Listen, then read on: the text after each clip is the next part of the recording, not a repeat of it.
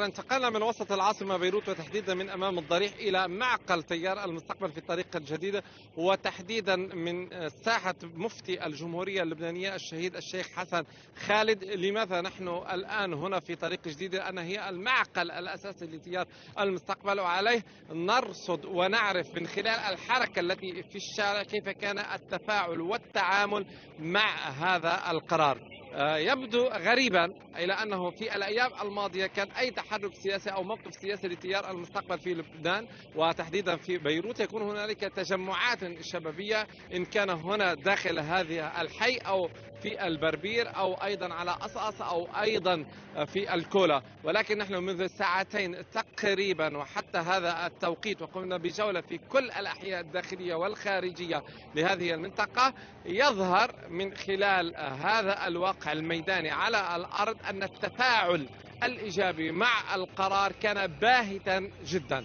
لذلك لم نرصد أي تجمعات لم تخرج أي مجموعات لم يكن هنالك أي مواقف لم يكن هناك أي مسيرات لم تخرج الدراجات النارية. حتى أيضا أن من بعض السياسيين يعني نوعا ما الذين حاولنا التواصل معهم للإدلاء بمواقف من هذا القرار كان موقفهم أنهم يلتزمون أو يقفون وراء موقف رئيس التيار أحمد رئيس التيار أمين عام التيار أحمد الحريري الذي أدلى به في بيروت وأيضا رئيس تيار المستقبل الشيخ سعد الحرير وعليه أيضا انتقلنا من العاصمة إلى كل المناطق. نعم انتقلنا من العاصمة إلى كل المناطق اللبنانية التي كانت في الفترات الماضية تشهد تشهد نعم. تجمعات أو تحركات في البقاع في سعدنيت في قبلياس في شتورة في طرابلس في صيدا.